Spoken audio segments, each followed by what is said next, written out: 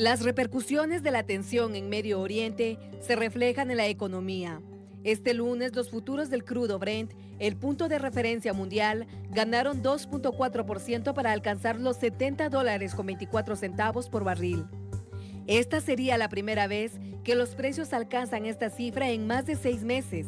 Los futuros del petróleo en Estados Unidos avanzaron 2.1% para alcanzar 64 dólares con 36 centavos por barril. Los precios del petróleo subieron más del 3% el viernes después de que Qasem Soleimani, importante comandante iraní, muriera en un ataque estadounidense ordenado por el presidente Trump. El ataque eleva el riesgo que aumente la tensión en el Medio Oriente, que es el hogar de los principales países productores de petróleo y las rutas clave de suministro de energía. El compuesto de Shanghái de China abrió con una caída de 0.4%, pero revirtió las pérdidas para comerciar en verde.